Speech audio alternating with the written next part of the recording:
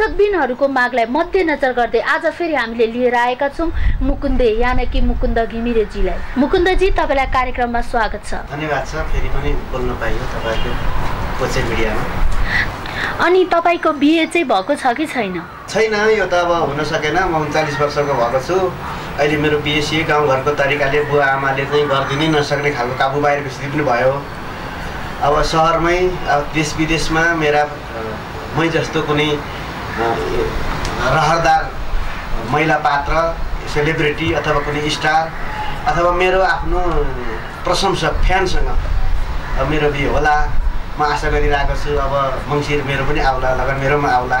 महादेवको पूजा गर्ने साउन आउँदैछ। व्रत बस्लान् हामी जस्तालाई पनि ताकेर कसैले। त्यो आशामा म पर्खिरहेको छु अनि विवाह गरेर चाहिँ तपाईँले आफ्नो श्रीमतीलाई पाल्न सक्नुहुन्छ त? यसको आय स्रोत के छ? ठ्याक्कै श्रीमती नै पाल्नुपर्छ गाई पाले जस्तै पुरै चाहिँ गोठालाकै लगानी हुनुपर्छ। त्यो विश्वास त म गरिन्न अहिले हाम्रा अब चेलीबेटी महिला वर्ग पनि आत्मनिर्भर गराउँदै ल्याएको छ। कति आरक्षणमा पनि त्यस्ता सुविधा दिएको छ छोराछोरी पाल्न सक्ने। पक्कै पनि मलाई यस्तो पात्र चाहिएको छ। एउटा बघिनीले चाहिँ डमरू आफै हुर्काउँछ। बाघ चाहिँ घुरेर बस्छ जो राजकाज गर्नुपर्छ। म पनि अब बोलेरै बसिरहेको छु बोल्नै पर्छ मैले कुराले बिग्रेको छ समाज कुराले पार्नुपर्छ म यही काममा लाग्नुपर्छ कुनै प्राविधिक काम हलो जोत्ने भारी उग्ने काम मैले गर्नुहुन्न त्यसो गरेर म भोलि ता मैले ताकेको कार्यकारी प्रमुख अथवा राष्ट्रपतिसम्म हुँदैन पनि।